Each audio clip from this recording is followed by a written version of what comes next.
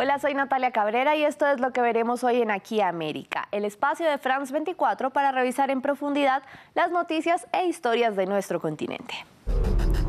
Joe Biden quiere darle la ciudadanía a los indocumentados. Los aliados demócratas del presidente de Estados Unidos en el Congreso presentaron su ambicioso plan de reforma migratoria, que si es aprobada, abre un camino a los migrantes para regularizar su situación y vivir y trabajar legalmente en el país. Les explicamos en qué consiste y qué probabilidades tiene de ser aprobada en el Congreso. Más de 6.400 personas fueron asesinadas por el ejército colombiano entre 2002 y 2008.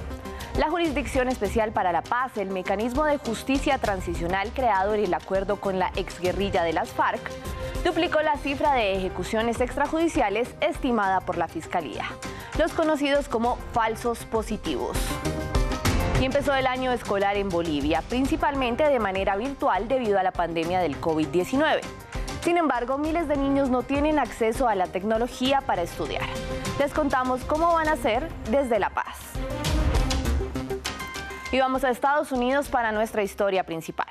Cumpliendo una promesa de campaña de Joe Biden, los demócratas en el Congreso presentaron el proyecto de ley de reforma migratoria una ambiciosa iniciativa con la que el presidente espera abrir el camino de ocho años a la ciudadanía para los 11 millones de migrantes que según el Migration Policy Institute vivían al 2018 de manera irregular en la Unión Americana. Los inmigrantes son buenos para nuestras comunidades, para nuestra economía y para nuestro país. Ante todo, esta reforma migratoria proporciona a la gente y las familias trabajadoras que han vivido aquí por años, en algunos casos por décadas, una oportunidad para conseguir la ciudadanía. Nuestro sistema está roto. Tenemos 11 millones de personas indocumentadas viviendo, trabajando y criando a sus familias en nuestras comunidades sin estatus legal, que son gente buena y decente, que cree firmemente en la promesa estadounidense. Veamos en qué consiste este camino de ocho años hacia la ciudadanía que se abriría si la ley es aprobada. Se crearía un nuevo estatus temporal de cinco años para los migrantes que superen revisiones de antecedentes y que estén al día con sus impuestos. Este permiso les permitiría vivir y trabajar legalmente en Estados Unidos durante cinco años tras los cuales podrán aplicar para una residencia y permanecer legalmente en el país tres años más, mientras reciben la ciudadanía. Pero ojo, solo quienes hayan ingresado a Estados Unidos antes de enero de 2021 podrían optar. Quienes viajaron o viajen al país después de esa fecha no califican. Los Dreamers o soñadores, es decir, los jóvenes que entraron al país siendo niños, los beneficiarios de protección temporal porque sus países de origen están en guerra o porque sufrieron un desastre natural, y los trabajadores agrícolas podrían obtener la llamada Green Card de inmediato. El proyecto de ley apuesta por eliminar los factores que incentivan a las personas a migrar planteando una inversión de más de 4 mil millones de dólares en cuatro años, dedicados a mejorar las condiciones en los lugares de origen de los migrantes, especialmente en el llamado Triángulo Norte, Guatemala, Honduras y El Salvador. Además, contempla acelerar el proceso de solicitudes de asilo en las fronteras, con el fin de desalentar los peligrosos viajes y la trata de personas. También retira la palabra alien del Código de Migración, un término que significa extranjero, pero que es considerado como denigrante por los defensores de los derechos de los migrantes. Y propone además que los procesos migratorios de las parejas LGBTI sean tratados de manera equitativa. Pero la reforma no incluye un aumento en la seguridad en la frontera, una demanda de los republicanos y de los seguidores del expresidente Donald Trump, y que podría dificultar las negociaciones en el Congreso. La reforma migratoria necesita 51 votos en el Senado y 218 en la Cámara de Representantes para convertirse en ley. Y aunque los demócratas tienen la mayoría en ambas cámaras, se prevé que habrá una dura negociación.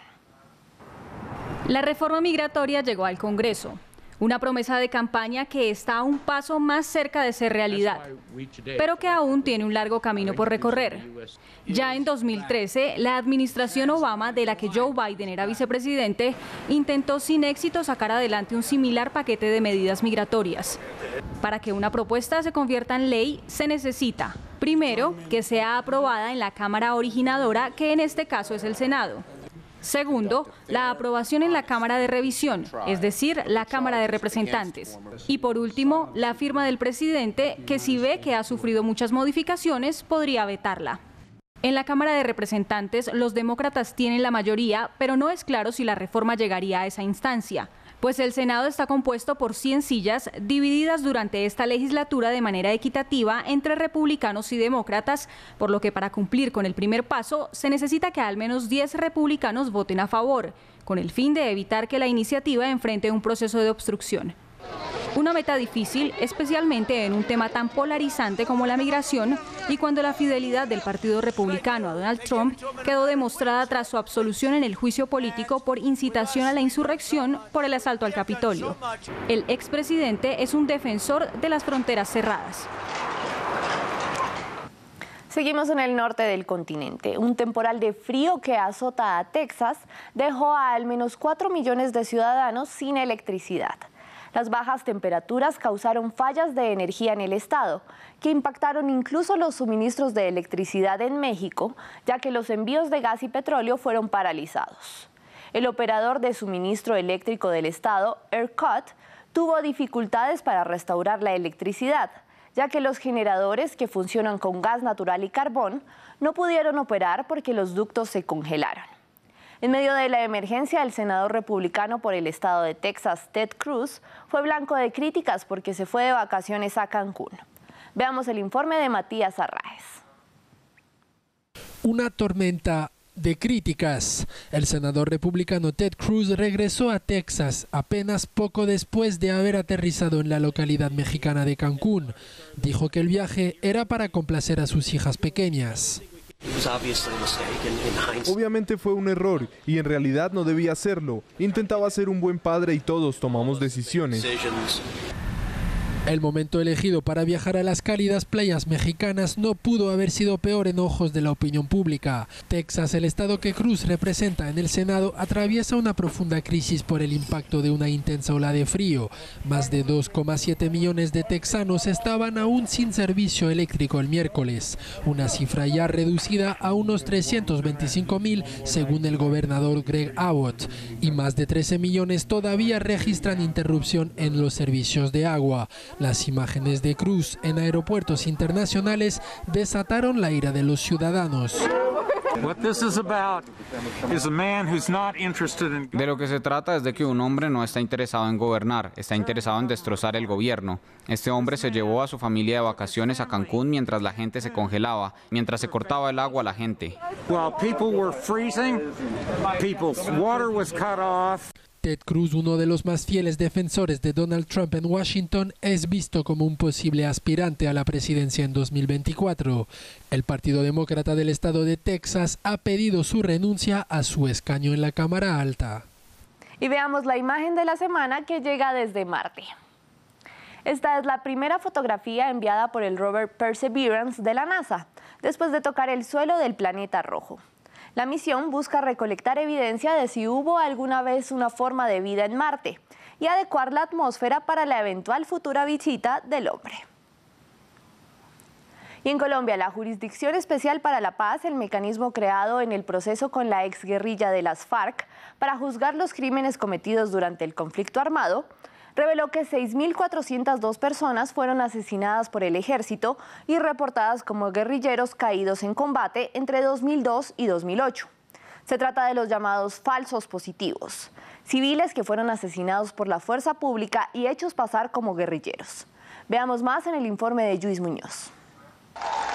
Cuatro años después de la firma de los acuerdos de paz, la Jurisdicción Especial para la Paz se acerca a las primeras decisiones judiciales. Este jueves, mediante un comunicado, desempolvaron uno de los capítulos más trágicos de la historia colombiana, elevando a casi el triple la cifra de falsos positivos del país, civiles asesinados por la fuerza pública y hechos pasar por guerrilleros. Por lo menos 6.402 personas fueron muertas ilegítimamente para ser presentadas como bajas en combate en todo el territorio nacional entre el 2002 y el 2008. La anterior cifra de la Fiscalía se situaba en 2.248 y comprendía los años 1988 y 2014. Sin embargo, la JEP se concentró en los seis años que hubo más falsos positivos y que suman el 78% del total histórico, unos sucesos que ocurrieron en los años de mandato del expresidente Álvaro Uribe Vélez, quien atacó al tribunal en un comunicado. Nuevo atropello de la JEP por falsos positivos. Pero este no fue el único evento de justicia transicional del jueves, puesto que seis miembros del antiguo secretariado de la guerrilla de las FARC asumieron responsabilidad en secuestros y otros crímenes de guerra. Así lo expresó en Twitter el Partido Comunes, el partido político de las FARC que recientemente cambió su nombre. Nuestro actuar insurgente siempre estuvo inspirado en la necesidad de transformar la sociedad, pero también reconocemos que se presentaron hechos y conductas sancionables a la luz del derecho internacional humanitario. La JEP es un tribunal de justicia transicional encargado de juzgar los crímenes más graves cometidos en más de 50 años de conflicto en Colombia. Su objetivo, encontrar verdad, justicia, reparación y no repetición. Eso, pese a los múltiples obstáculos que enfrenta. Hay miles de niños que no tienen acceso a la tecnología necesaria para estudiar. Pero nuestra corresponsal en La Paz, Mary Vaca, nos cuenta cómo algunos de ellos encuentran la solución. Señora, le vamos a dar una entrega de una laptop para tus niños y como son tantos, son seis niños, vamos a dar. Le vamos a entregar también una tablet. Muchas gracias. Gracias. La verdad, muchas gracias por esta ayuda, ¿no? Para mis hijos. Y Dios los va a bendecir mucho. Gracias. Hoy es un día especial para Noemí Andrade y sus siete hijos.